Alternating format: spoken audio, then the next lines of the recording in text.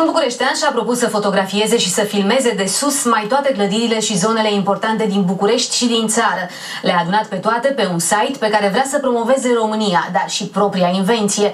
O dronă care poate zbura până la 2 km distanță. Imagini spectaculoase urmăriți în materialul următor.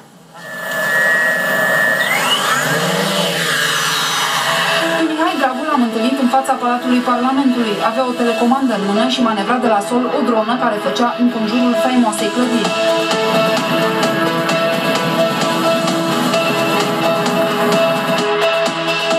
Fac fotografii în București cu locurile iconice din uh, zonă ca să promovez uh, orașul. Are o autonomie de 14 minute cu sarcina de 500 de grame.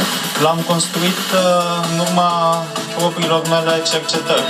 Oamenii admiră tricopterul care se învârte zgomotos deasupra lor și găsesc imediat o întrebuințare.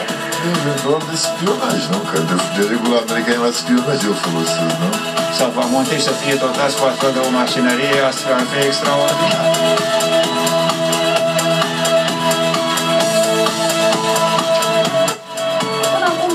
Fotografiat și a filmat în București, la munte sau la mare. De sus, imaginile sunt spectaculos de frumoase. Astăzi, drona a zburat deasupra televiziunii române la peste 100 de metri înălțime.